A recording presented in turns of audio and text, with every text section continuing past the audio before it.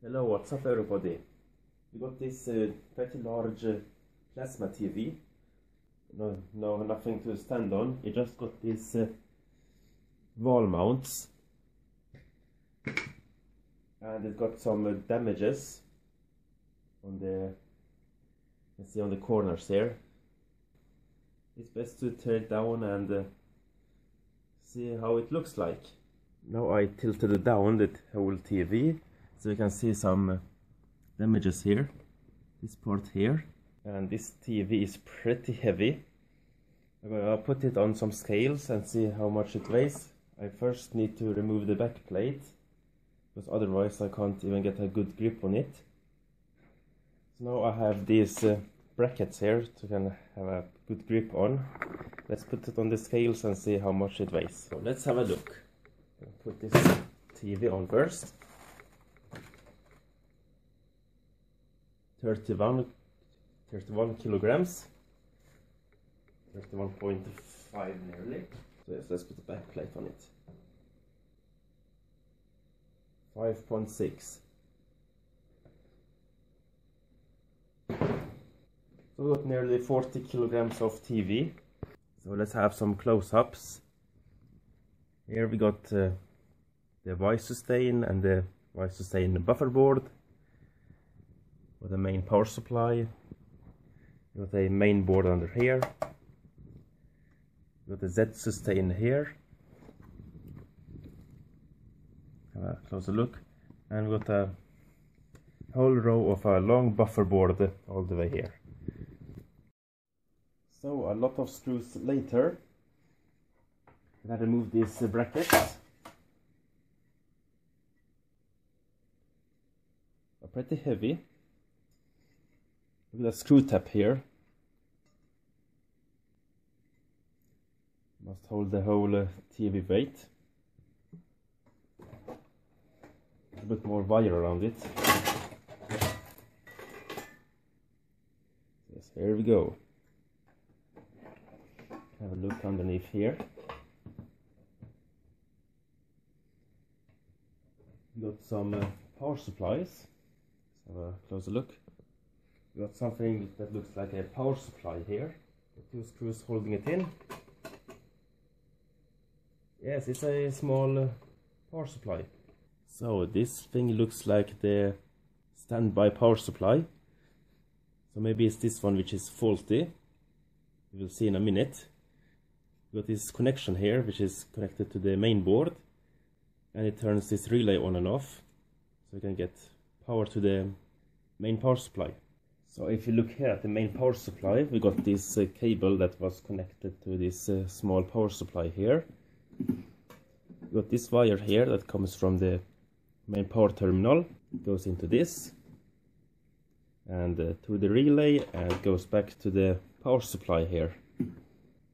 So now I got this little power supply here and I'm going to measure some voltages and see if it's faulty.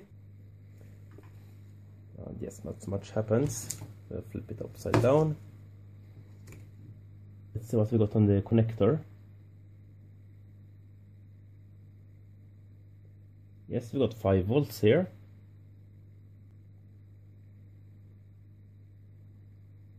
So if I put a little resistor here, the relay should click.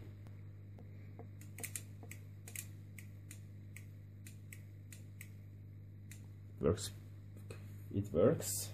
So let's see if we got any voltage out. Yes we got voltage out. So this circuit works with no problems. So let's tear the rest of the TV apart. So here we go. See the terminals there for video input. These are the cards you can put here Let's see encrypted the channels. piece of metal. And under here we should put the Z sustain board. And now screws are removed. And here we got the Z sustain board. Pretty nice heatsink actually. Got this uh, chip underneath it. And we've got the main board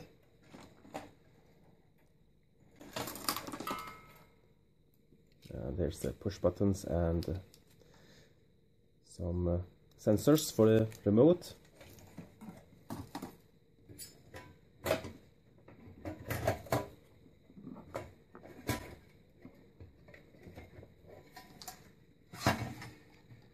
Pretty nicely cased. There's important components inside this. That was just a lot of effort to remove the main board but here it is fortunately we got some connectors here but the rest of the wires just went inside this box. Got all kinds of uh, interfaces. And uh, all of this goes into this wire here which is the main display output which goes to this control board here. And this control board goes to the Y sustain, the buffer board and the Z sustain. Got this main power supply here, feeds power into the sustain boards. Got this little wire here that feeds this uh, main processing board. And that puts signal into the sustain board here, and signal to the here, and we got some signal to the buffer boards. So here we can see a close up, you can see the chips here. Got a bunch of chips here on all the outputs and these are octal bus buffer three state output non-inverted. So they buffer up the signal from the main processor here. So you can drive these uh, different steps. So now I'm going to remove all the circuit boards. So power supply.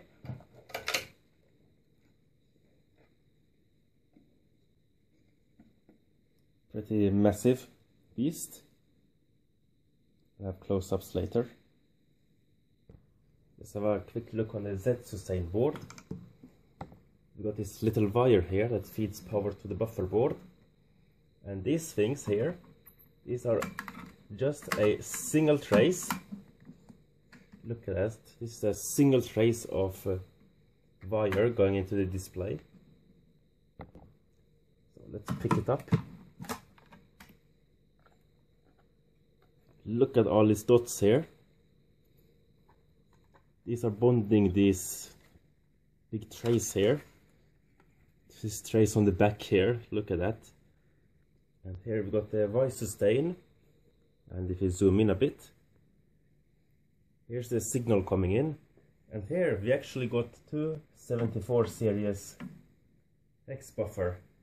So I want to remove this I want to show you this thing here. Got a power wire here going into this uh, buffer board for a Y sustain. We've got these special uh, connectors here. Uh, sorry, this little wire here wasn't a power wire, it was just a signal wire. Got this chip here that control the signal from this. And we got even more chips here. Yes, this was actually a signal wire, not a power wire. So yes, a lot of screws later I can remove this uh, complete circuit board Y sustain board. Yes these were single wire connections. So pretty fat connections there. You see underneath it a lot of power supposed to go through that. So I got this large heat sink with a chip underneath it. And here we got the pretty interesting part. Here's where the magic happens. We got like 200 volts coming in from these terminals here. And these are pretty small ships, a lot of legs around them.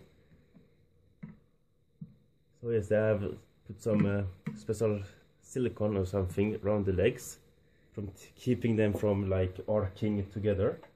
So yes now the Y sustain buffer boards are removed. Let's remove this main part which controls everything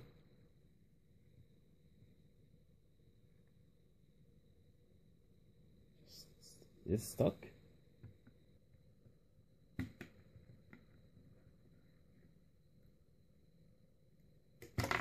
Yes, here we go. As you can see here, large cooling pad.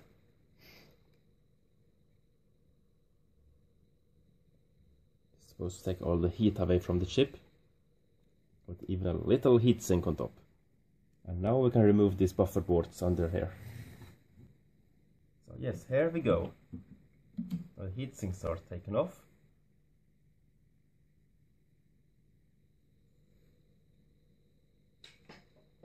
Here you can see the buffer boards. And look at that, this is quite nice. You got these small chips here on the ribbon cable. Now we can remove this. There are not so many components on these boards. The main part is on the ribbon cable.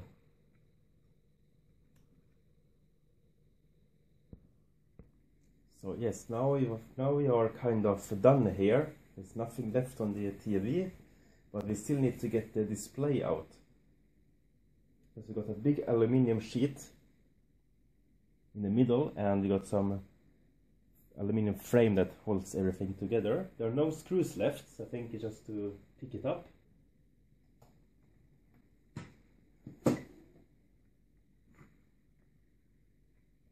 So yes, there we got it.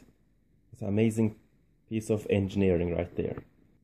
It's pretty many screws actually holding the whole thing together. I hope I can use this uh, big glass sheet for something. Maybe a infinity mirror. That would be nice. Make an infinity mirror out of this. I have a mirror which is pretty similar size of this one, so why not? It looks like a LG. LG display in a uh, Thomson TV. And now let's have a close-up on the circuit boards. And here we got the large pile of circuit boards. So Plasma TV's got a lot of circuit boards, a lot of useful components. Here we got the main power supply, the power comes in here through common mode chokes, filters into this rectifier here, into switch switching transistors, and into these transformers here. And these give out the main voltages like VS, VA, and some uh, lower voltages for the control board and main board. So here we got the main voltages this power supply gives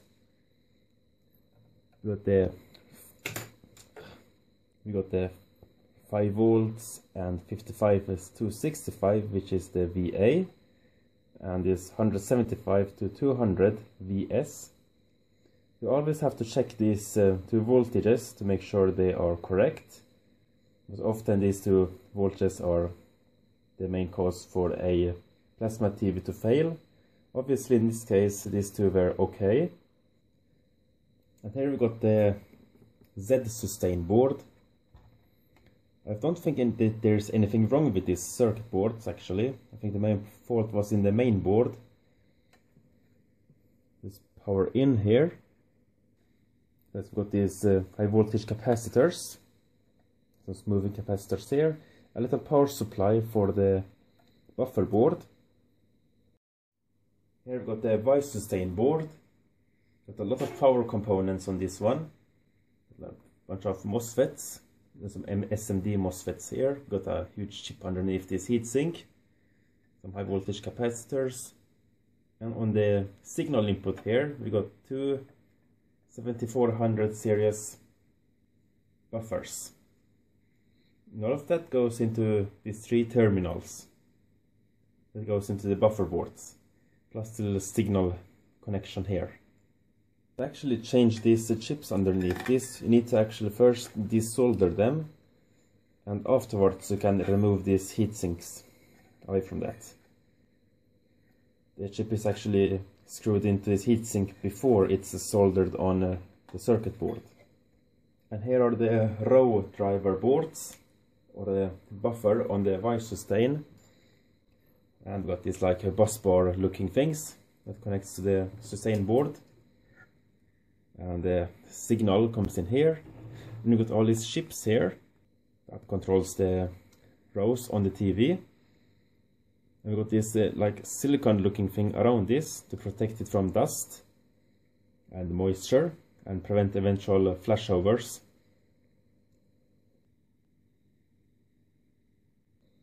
And here are the column driver boards or the buffer boards.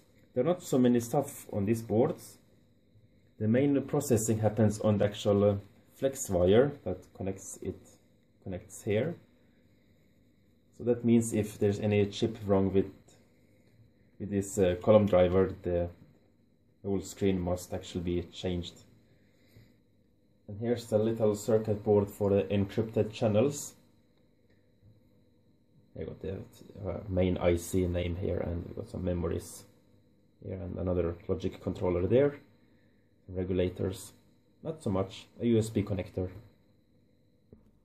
And here we've got the main board, there's a normal analog tuner with this analog board here that controls uh, the SCART. And on this other side we got this rather interesting connector here. I think it's a service port. So here are some chip numbers on this analog board if you are interested in that. Here's some kind of analog to digital converter. This thing here or this and this main processing unit with its own crystal. And here we got the main digital side of the board with some analog inputs here as well. We have some analog digital converters here. If we zoom in a bit, we can see we got some uh, IC circuits with like a RAM memory here for this like video controlling thing here the Pixelworks PV2300. It's a video controller or something with another circuit here. Don't know what that does. They're all in these uh, BJ chips. And here we've got the main video and uh, audio processing unit. The Pixelworks PV118B this owner like flash memory here. We've got two RAM on top and a little crystal. Here's a silicon image chip that controls the HDMI connector. So yes, here's the main display controlling thing. It's a dual LVDS transmitter between the host and the flat panel display.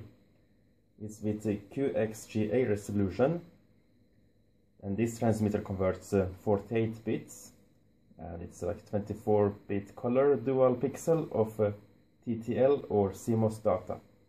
This is a pretty interesting chip. It's a EP387A. Let's take the signal from the main processing unit here into this uh, wire here that was connected to the logic control board.